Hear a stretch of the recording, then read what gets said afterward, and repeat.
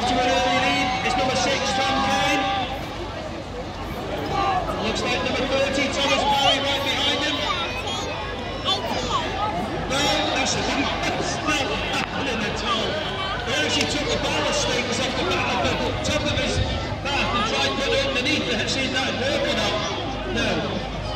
Number six and number 30, they're going at it, aren't they? So number six from the Eastern Young Farmers, Tom Kane, number 30.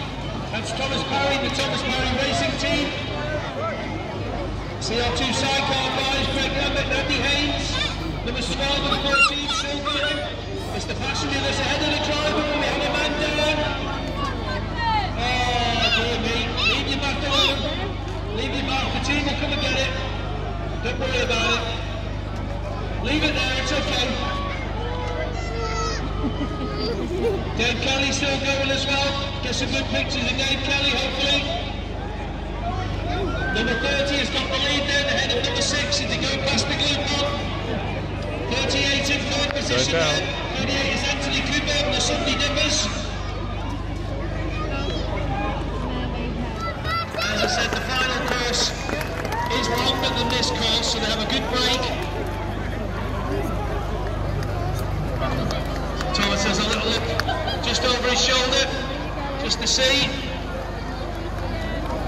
So it is a heat win for Thomas Parry. Well done, Thomas. Do the seaweed, do the rack. There you go. Good man, well done. Cross the line, sir.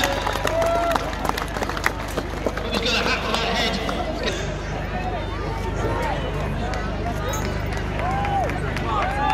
Come on, Tom. Get it home. Tipping that front a bit. The number six outfit, the Eastern Young Farmers.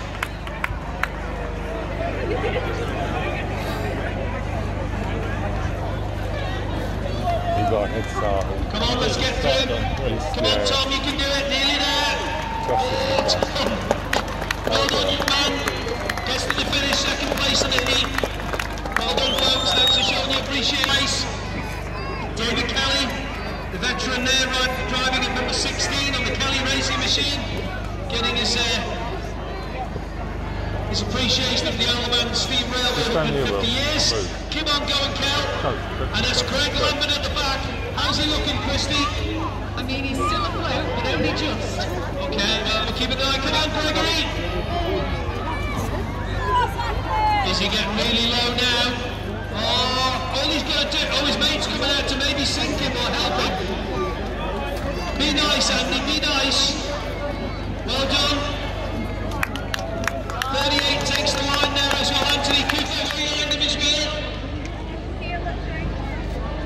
many miles is David Kelly done up and down Castletown Harbour in those years? It's a good question, I think. Come on, Craig.